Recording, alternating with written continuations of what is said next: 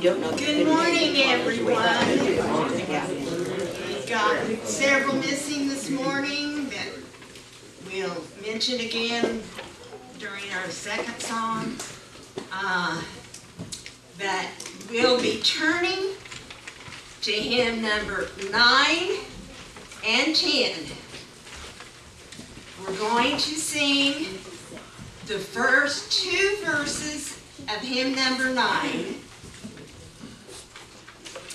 Then we're going to go down and sing Majesty through just one time. Then we're going to go back up and do the third verse. So it's two, Majesty, three.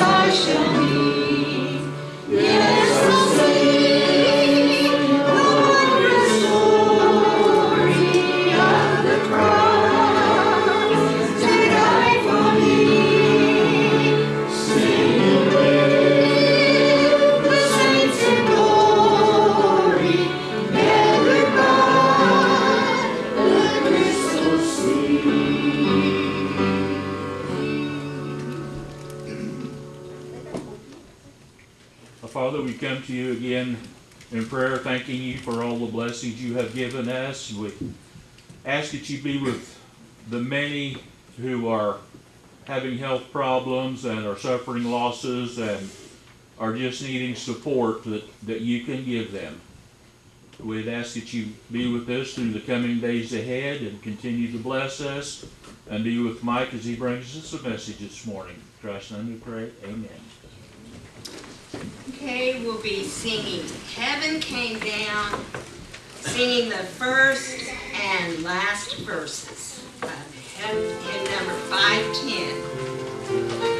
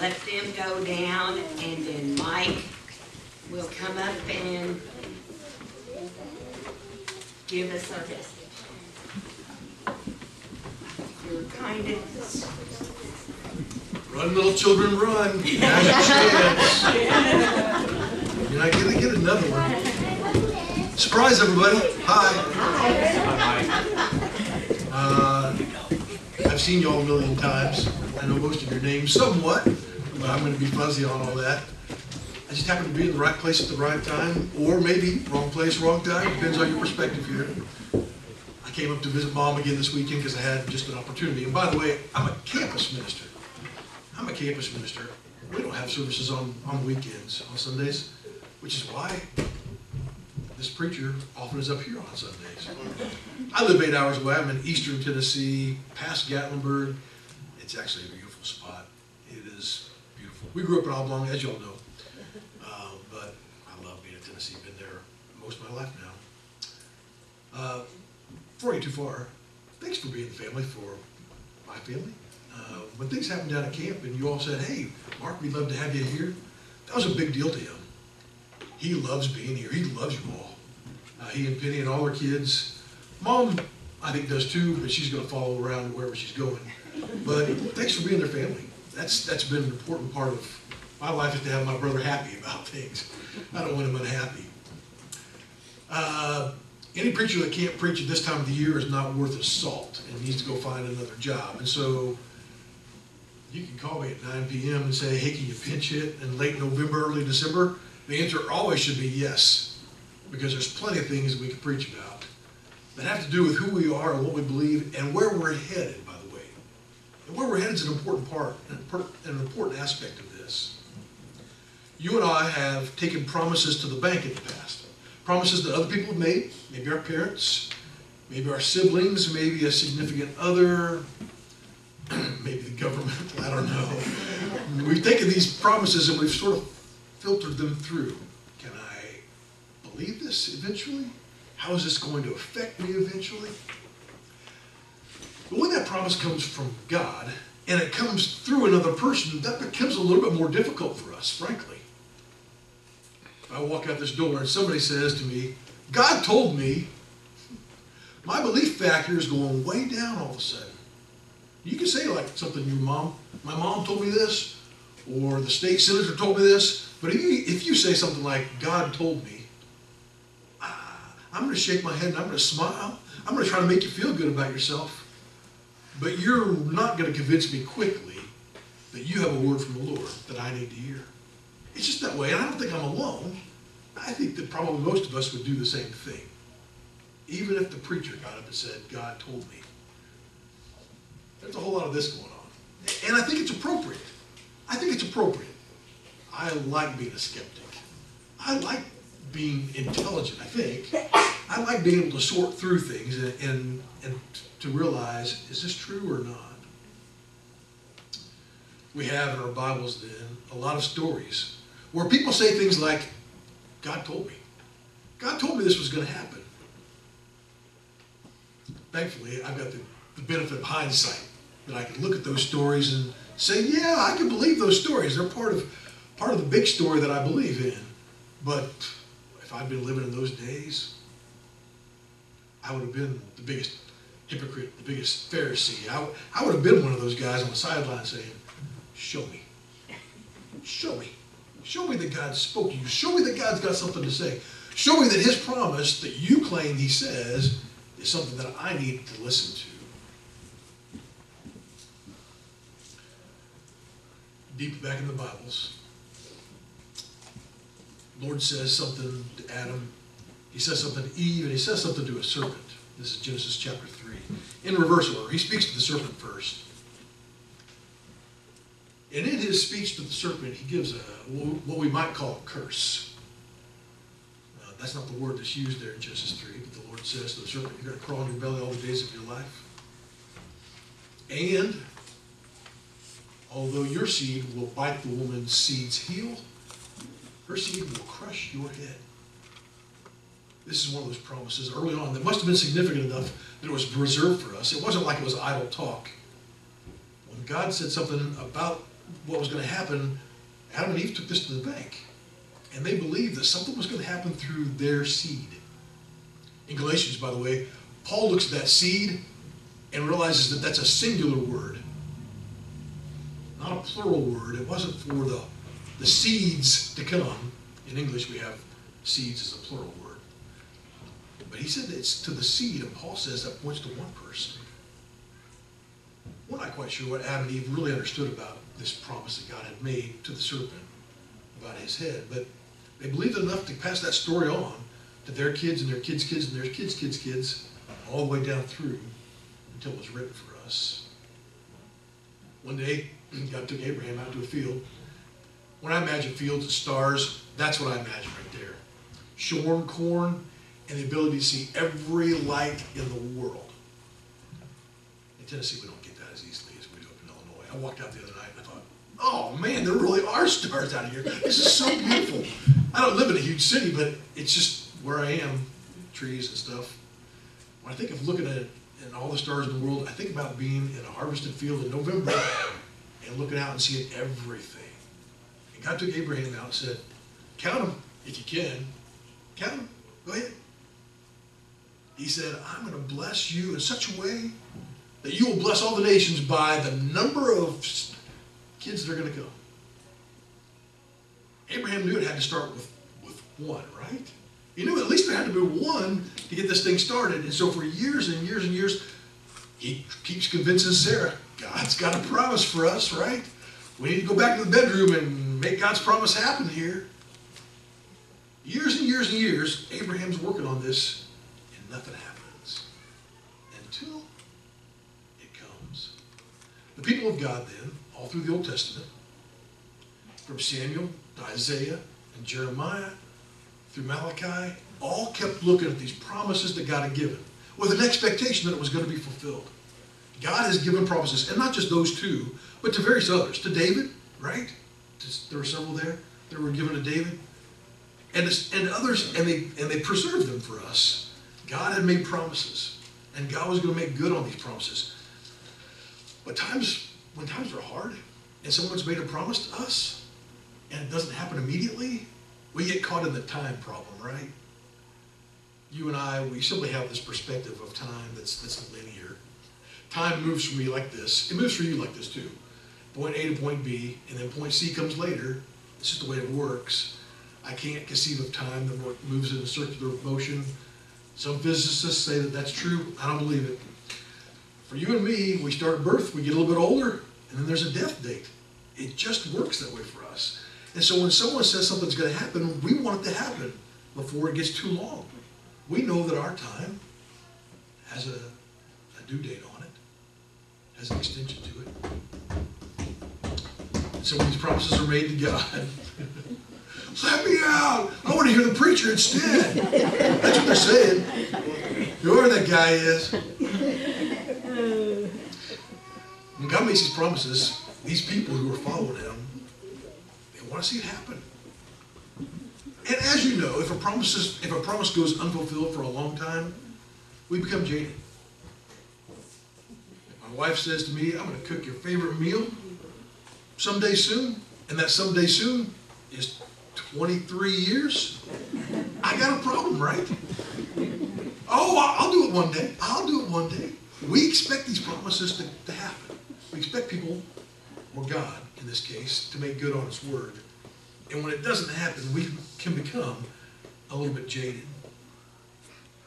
The curious thing about the Jewish people is that although that there was this amount of time, significant amount of time, and although God had made a lot of promises, they didn't give up. And I think that that's the most curious thing in the world. I'm, I'm quick to move on. I am. I'm quick to move on to the next thing. But this group of people did not. In John chapter 1, there's this really odd story that's beautiful.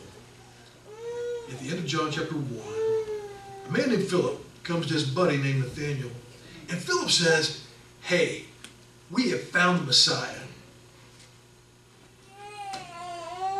Nathaniel probably had heard talk like this before. right? And maybe it was, hey, come see the circus. Maybe it was really, hey, here's somebody who looks like what a Messiah might be. But Philip's, uh, Nathaniel's heard this before. and He's, he's sort of tucking his arms, going, I'm not sure. The interesting part is that when Philip found Nathaniel, do you remember this part of the story in John 1? Philip finds Nathaniel and he is under a fig tree. Why might a grown man be under a fig tree? I- I've heard a couple of, of explanations, but there's only one that makes sense to me. A grown man might be under a fig tree if he was praying. We remember fig trees, right? Big leaves, a lot of shade, good shade. You can crawl under there. You can pray for a significant amount of time, especially if you're a Jewish person. And you can pray without being interrupted, maybe even being seen. Philip finds Nathanael and says, We have found the Messiah. Most likely, Philip waited for Nathanael to be done with his prayer, and every Jewish man would have ended his prayer by saying, And Lord, please send the Messiah. Philip nudges him and says, Hey, we found the Messiah. And Nathaniel's like, I don't know. I'm not quite sure I can believe my prayer's been answered that quickly. I prayed this prayer before, right? Ah, show me. You remember Philip's words, right? Come and see. Come and see. I'm not going to tell you. Come and see.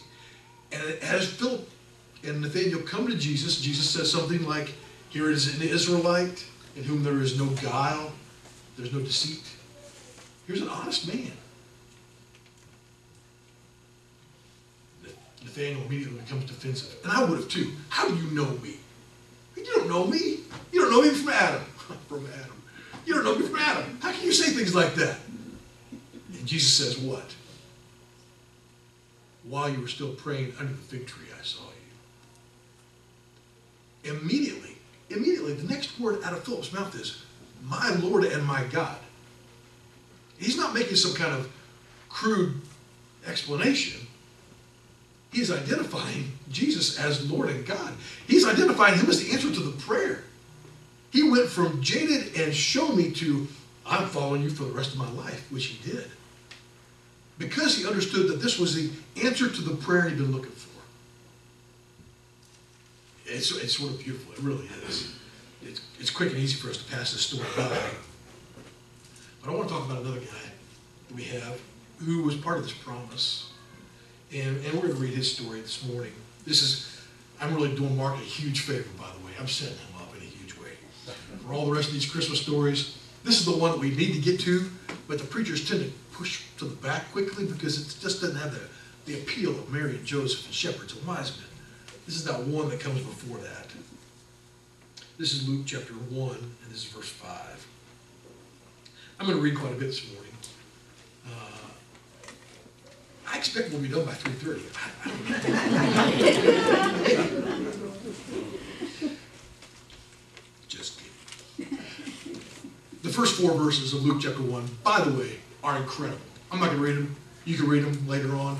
They're important for us as Christians to identify that this is, this is real and not some kind of fairy tale. So read those first four verses later on. Verse 5. There was, in the days of Herod the king of Judea, a certain priest named Zechariah of the division of Abijah. His wife was the daughters of Aaron, and her name was Elizabeth. They were both righteous before God, walking all the commandments and ordinances and ordinances of the Lord blamelessly. But they had no children, because Elizabeth was barren, and they were both well advanced in years.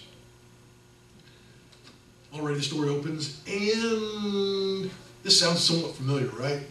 If we've read Genesis, if Mark's been preaching through Genesis, Abraham and Sarah, Isaac and Rebekah, Jacob and Rachel, right? We've heard this that kind of thing before. We sort of expect it to happen, except that, like Abraham and Sarah, here they're old.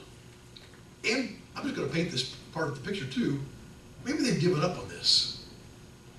That, that's old folly for them, right? And those of us who have some age and whiten our whiskers, we remember how, well, times change after a while. Expectations, sometimes just leave them buried, right? You don't want to dredge up the past. You don't want to make her angry unnecessarily.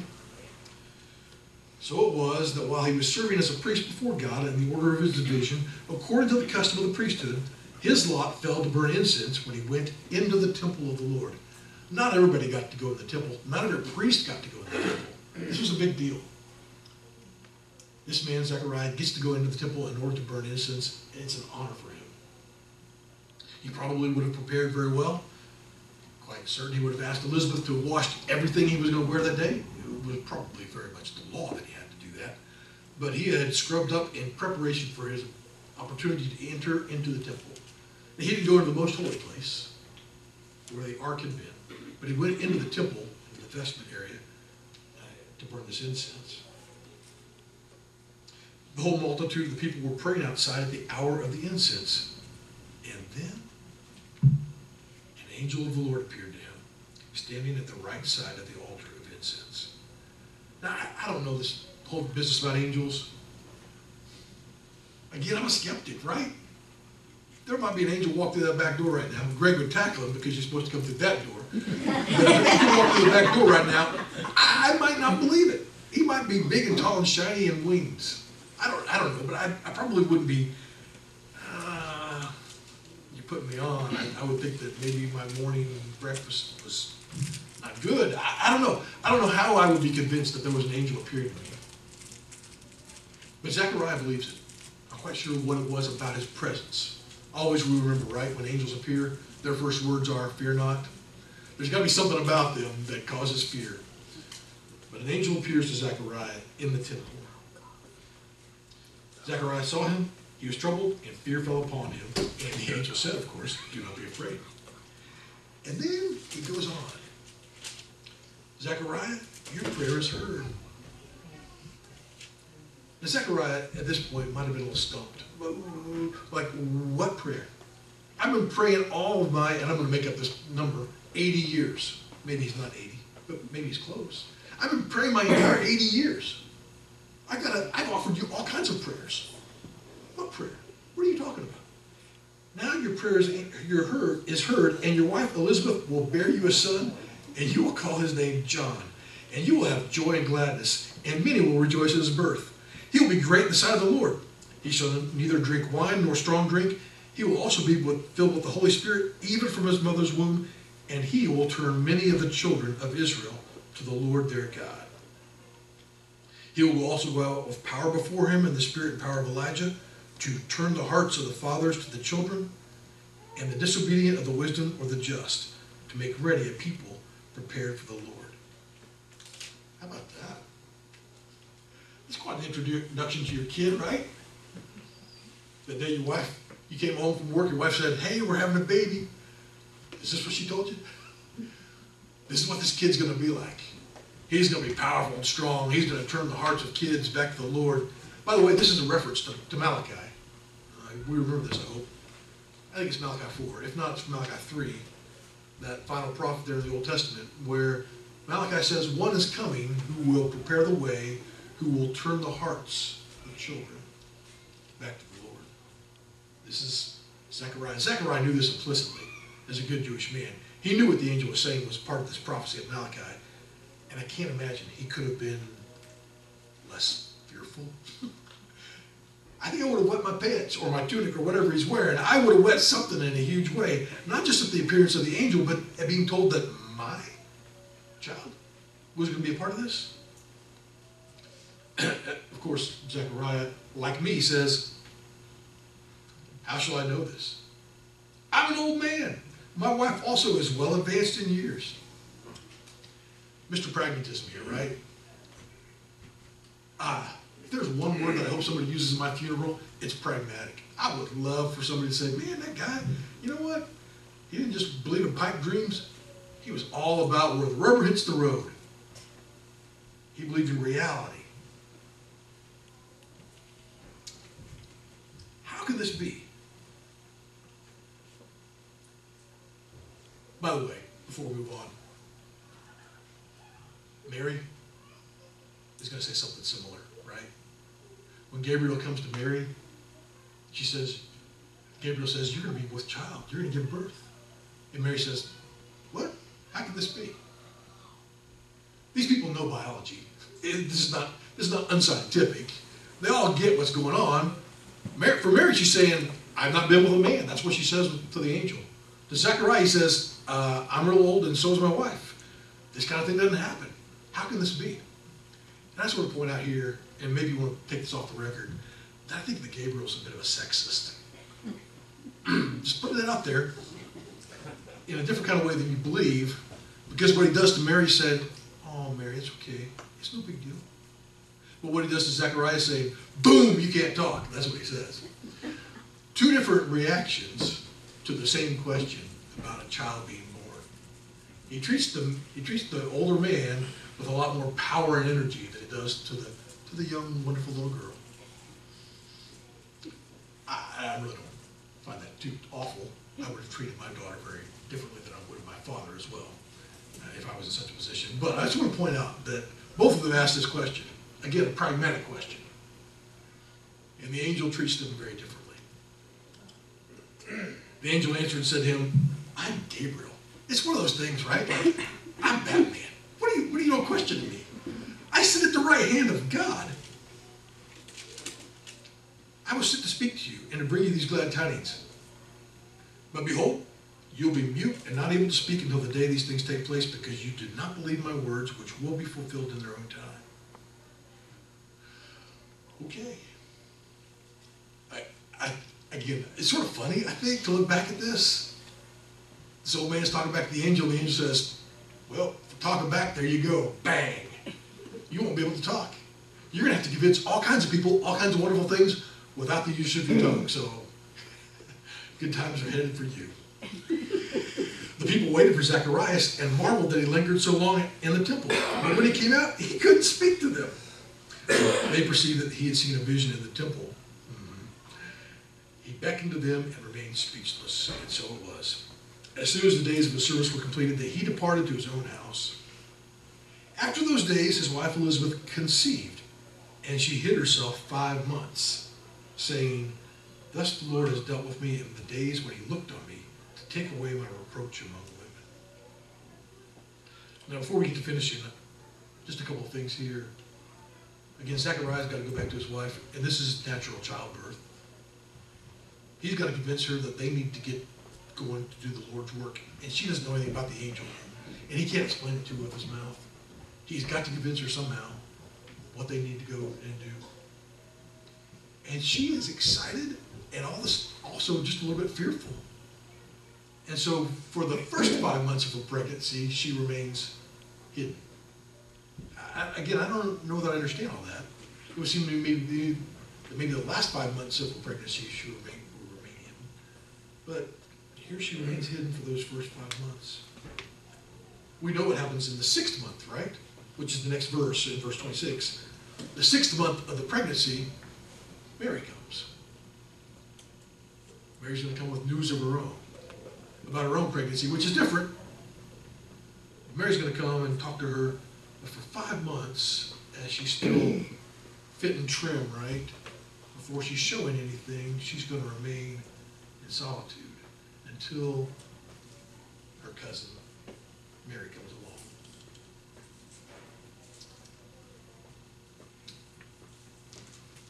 Let me point out here a couple things before we get too far. Zechariah understood that the child being born to him and Elizabeth was not the Messiah. He understood that. He understood that the child being born to him Elizabeth was part of the prophecy of Malachi, about the one who would prepare the way. But he got that his kid wasn't the Messiah, and yet was part of this big story, part of this big, great promise, part of what all of his people, from Adam to Abraham to David to Samuel to everybody else, have been a part of. He realized that he was getting to play a role in this. And he was excited about it. Later on, uh, in Luke chapter 2, there's going to be another old man that comes. He used to hold the baby Jesus. Remember Simeon? Sort of a fun thing. We're told that he has lived in the temple. He is waiting for uh, the Messiah to come. He knows that the Messiah is going to come in his life. Somehow God has revealed that to him, and he's waiting for it to happen. And finally, when he gets to, I, I sort of imagine him snatching the baby from Mary, right? She comes in to bring Jesus in for the purification. I see this old man walking up, sort of crazy eyed, right? He's probably got hair growing way out of his ears, probably stinks and smells. And I imagine him coming up and swiping that baby from her. Can you imagine the gulp that she takes? Can you imagine Joseph probably getting ready to take a swing at this guy and realizing that if he does, he's going to completely obliterate his face. So he doesn't. And Simeon says things like, Oh, here's the one. Here's the one. Now you can dismiss me, Lord. Now you can dismiss me because I have seen your son. Seen the one you've sent. We're going to end with this song. And I don't know why songs are important. This is not the kind of guy that I am. But sometimes in the Bible, when good things, important things happen to people, they sing. David does this. I, I, I don't do this. If you're a musician and you do this, kudos to you. I just don't understand that kind of thing. Twice in Luke chapter 1, we have songs. Zechariah sings a song and Mary sings a song. Simeon's going to sing a song later on. It's just part of the way that this thing works. And I don't, I like singing songs. I participate. I love hearing Mary play, by the way. I love singing these hymns. But when something good or bad happens to me, I don't go home and write lyrics. I just don't do that. And yet, that's a part of this story here. Mary's song is good. The song that she sings when she realizes that she's about to give birth to the Messiah. The song that Zechariah sings is excellent. So we're going to finish this morning with Zechariah's song at the end of Luke chapter 1. Again, recall, Zechariah realizes who his son is and who he isn't. uh, nine months after the conception of John by Zechariah and Elizabeth, the baby is born. We remember the story, I hope. They want to call the kid after his father, and poor mute old Zechariah's over the corner, trying to get up, trying to say, no, no, no, you can't do that. Everybody's ignoring him and looking around. And finally, this guy grabs a tablet. No, his name is John. John. Why John? Because the angel said his name is John. That's why. His name is John. And immediately his mouth was opened, his tongue was loosed, and he spoke, praising God. Verse 67 His father Zechariah was filled with the Holy Spirit and prophesied. Listen to this. Blessed is the Lord God of Israel. He has visited and redeemed his people. He has raised up a horn of salvation for us in the house of his servant David, as he spoke by the mouth of his holy prophets, who have been seen since the world began, that we should be saved from our enemies and from the hand of all who hate us, to perform the mercy promised to our fathers, to remember his holy covenant, the oath he swore to our father Abraham, to grant us that we, being delivered from the hand of our enemies, might serve and fear him with, might serve him without fear, in holiness and righteousness before him all the days of our life. All this first part is corporate. Zechariah is not saying, God blessed me. He's saying, God has blessed us. God has made this thing happen for us, for all of us. Remember all that history stuff? Zechariah realizes that the benefits are for the nations. Verse 76 And you, child, will be called the prophet of the highest. You will go before the face of the Lord to prepare his ways, to give knowledge of salvation to his people by the remission of their sins, through the tender mercy of our God, with which the day spring from on high has visited us, to give light to those who sit in darkness and the shadow of death, to guide our feet into the way of peace. My dad was a good man. You probably hear stories about dad on occasion. He was not always a good man. But by the time that I got to know him, he was a pretty good man. He didn't sing a blessing like this over me, or over Mark, and certainly not over John. this is one of those things that could, could have been done to have announced our birth in such a way. And I've got this little book at home. It's pink because they thought I was going to be a girl. Man, I had this little book at home. Got a piece of my hair cut out there. Got this announcement. It was a boat. I don't know why there was a boat. It was part of my wedding or my birth announcement, but there it was.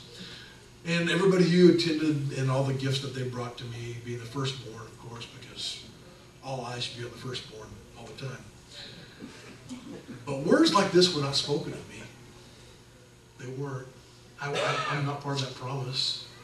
As good of a kid as I turned out to be, I think, I still was not John the Baptist. I didn't prepare the way for the Lord. This was something a big deal. And Zechariah saw it and noticed it and publicly told everybody with his newly loosened tongue. I've never had surgery in my mouth or anything. I, I've been able to speak every day of my life, I think. I can't imagine what it would be like to go for many months without speaking. But when this guy gets a chance to speak, he does, and it's good. It's good. He thanks the Lord for his blessing to them and to the whole world. And let's recall, the blessing that God made to Abraham was to all nations.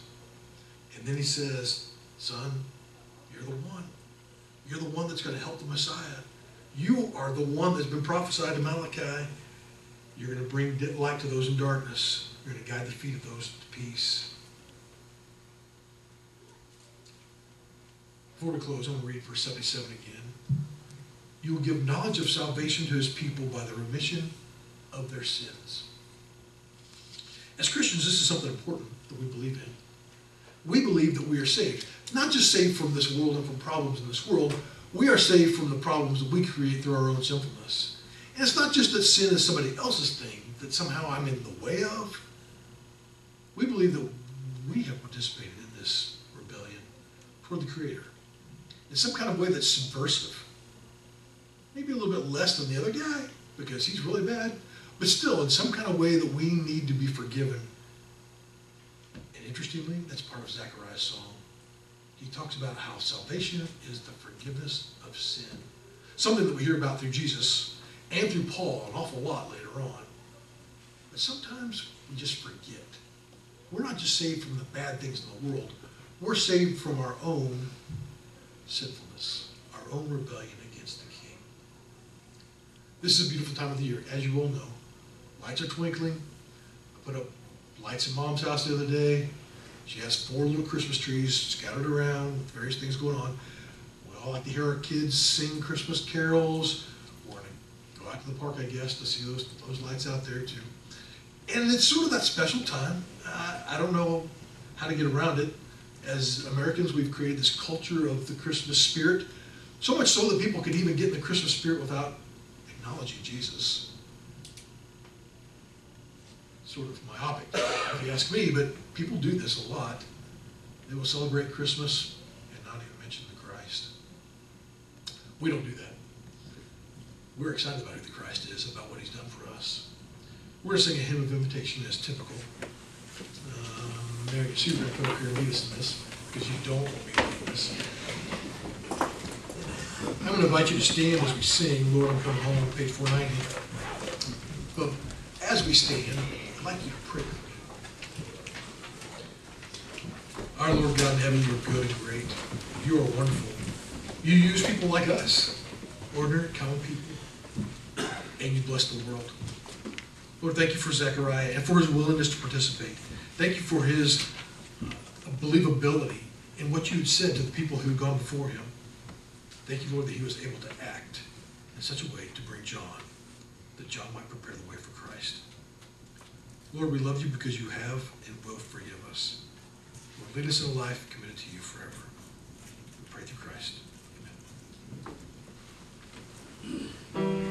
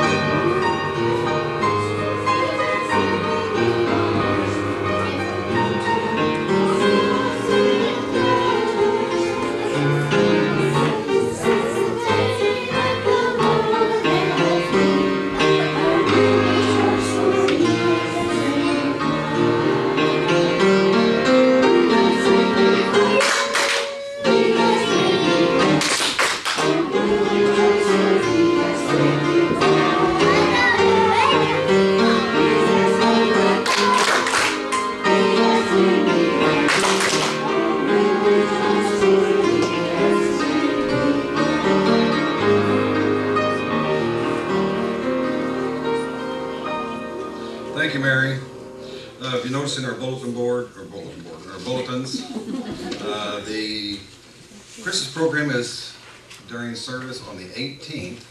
Thank you, Julie, and those helping you uh, corral our wild bunches, so. um, Anyway, be sure and have your kids here practicing for that. Also, on the very bottom part down there, there is no more Christmas star. Operation Christmas Star kind of changed things. It kind of changed. bit, It so- kind of changed. Uh, we've been contacted to do green beans again. Uh, so there's a couple ladies out of the, the uh, junior high system that's taking care of it, and they're wanting to actually do for a hundred different families, so. Uh, we have a couple weeks, three weeks, whatever. Uh, at the grocery store, throw in a couple more cans of green beans, bring them out here, and we'll be sure to get them there, so. Let's stand. Dear God, once again, we give you thanks for all the blessings which you've given to us. We realizing that uh, you're looking over us always. We ask you would uh, guide and direct us and uh, give us a chance to, uh, to tell others about the wondrous love that you have in store. Uh, Be with us always. In your son's precious name we do pray. Amen.